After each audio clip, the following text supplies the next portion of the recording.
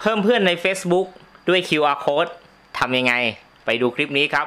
แล้วก็กด QR code แล้วเขาก็เลือกโค้ดของฉันแบบนี้ เห็นไหมครับ พอเราสแกน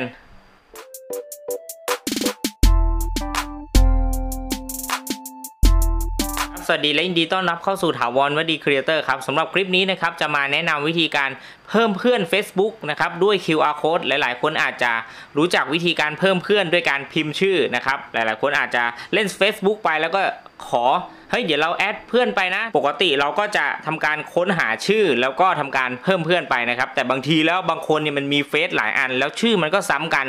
เราก็บอกเฮ้ยนายชื่อเฟซอันไหนกันแน่นะครับ เราก็เลยมาเพิ่มเพื่อนกันแบบ ง่ายๆ และถูกต้องกันด้วยการใช้ QR code ครับ ค้นหาแบบปกตินะฮะ สมมุติว่าเพื่อนเราเราก็กดตรงช่องค้นหา แบบนี้นะครับ เห็นไหมครับ เห็นมุมด้านขวามือจะมีคำว่า QR code ให้เรากดเข้าไป ตัวแรกนะครับมันจะขึ้นว่าตัวสแกน QR code นะฮะ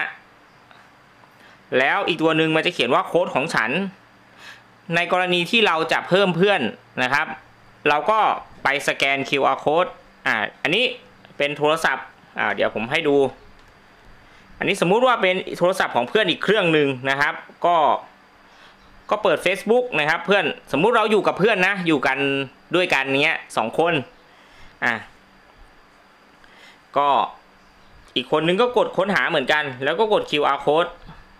แล้วเขาก็เลือกโค้ดของฉันแบบนี้ เห็นไหมครับ พอเราสแกน เรียบร้อยนะครับ ทีนี้เราก็จะขึ้น Facebook ของเพื่อนคนนี้ขึ้นมาเลยนะฮะ กลับไปดูอีกทีนึงอะ ดูหน่อยนะ อะนี่สแกน โอ้ยไกลๆยังเห็นอะแวบเดียวนะครับ นี่เป็น QR code นะครับ เปิดแล้วก็ให้เพื่อนสแกนได้เลย พอเพื่อนเปิด QR code ให้แบบนี้ เราก็เลือกตัวสแกนเข้ามาสแกน เรียบร้อยครับ ง่ายไหม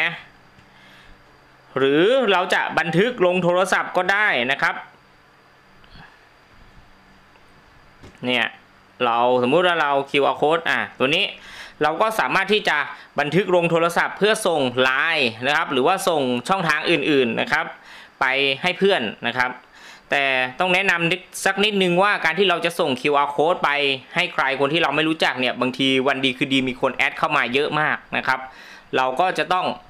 มาคัดกรองคนที่เราต้องการจะให้แอดเข้ามาอีกนะครับ เราก็ต้องมาเลือกกันเพิ่มเพื่อนยิ่งเฉพาะยิ่งสมมุติว่าคุณเป็นผู้หญิง